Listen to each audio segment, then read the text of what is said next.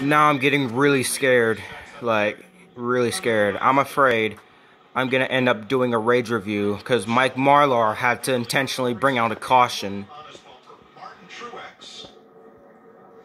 Ricky Stenhouse, who has the best car he's had all day, followed by Daniel Suarez and Tyler Reddick and Ryan Newman. How many times are we going to do pace laps? You know these guys up there, are they trying to cool their tires down? I see everybody running up high in that darker, kind of where the dirt's settled up top. That's exactly what they're trying to do, but at this point, I don't think they have much I'm really scared.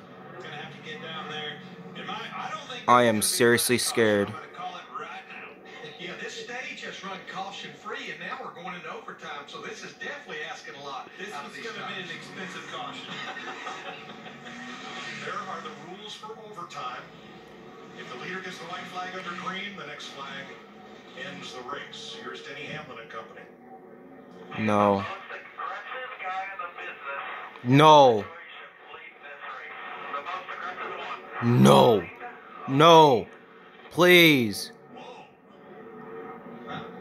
Jim, hey, that's how you motivate your driver. No, please. Please. He is that- Prayers at Logano win, please. Please.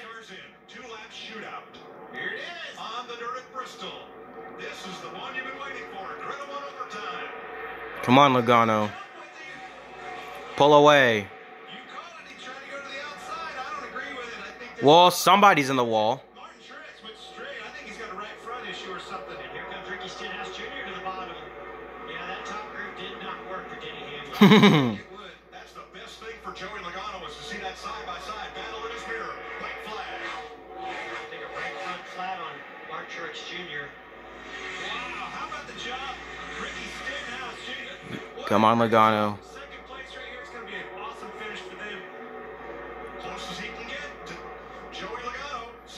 Logano. Yes! Whoa! Yes! Yes!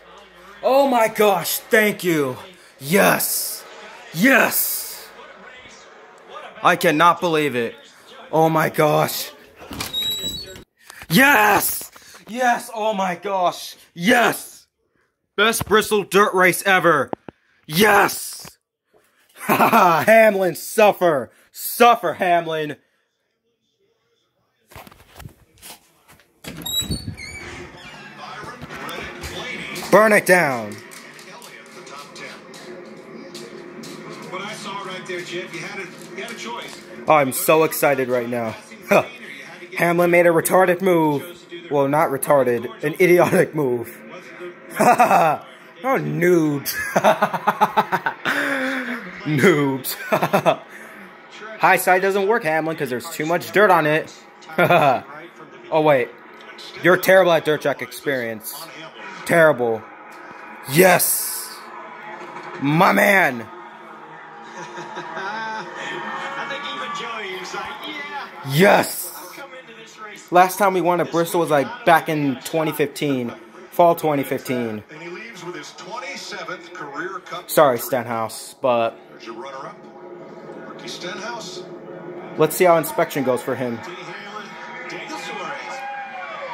Here's Jamie. Hi, Logano suffered. I mean, no, no, no. I take that back. Hamlin suffered. They wanted those bragging rights to say they won the first dirt race. Yes. How do you sum up what Yes. Yes. It's incredible. How about Bristol out there, guys? This is incredible. Yes, sir. Racetrack, great job by everyone that Yes. did the track. Obviously, a lot of work over here the last few days, and uh, man, Yes. did a lot of work in the, in the dirt department here the last few weeks with my buddy Ryan Flores. Yes. My car chief, Terry Ryan Flores is the best. modified And just making laps and learning where I was going. A lot of that helped. Yes. Helped a lot too. He's a lot I can't believe you won on